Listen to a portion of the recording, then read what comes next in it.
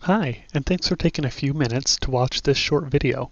My name's Levi, and I'll be presenting a short overview on how to use the Concord Print-to-Fax driver to easily send faxes from any Windows application.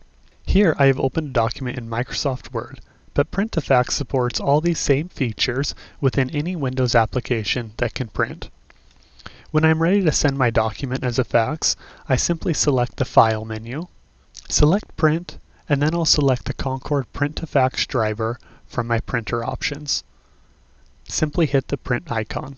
This will then present me with a dialog box that will allow me to input the recipient's name, company, and fax number for anyone I would like to send this fax to.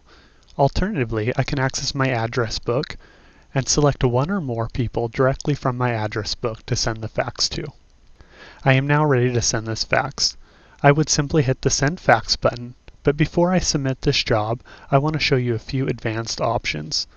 Under the Cover Page button, Print2Fax can automatically generate a cover page for you that inherits your user information from the setup of the Print2Fax driver. It gives you an additional option of including a subject for your fax, as well as an area to add any body text for your fax message. Once I'm done, I simply hit OK. Now, if I worked in the healthcare industry or legal industry, I may want to capture patient ID or a matter code associated with this particular fax.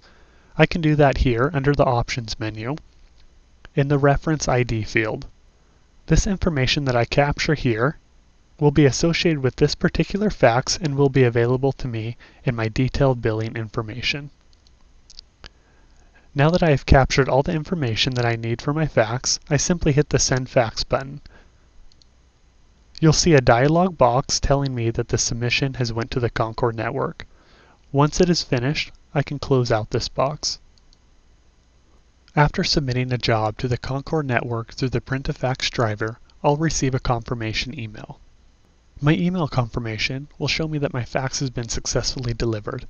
It also gives me a tracking number gives me information about the recipient and their fax number, shows me my subject line as well as that reference ID field I associated with my fax, and confirms my time submission in case I needed this for proof of service.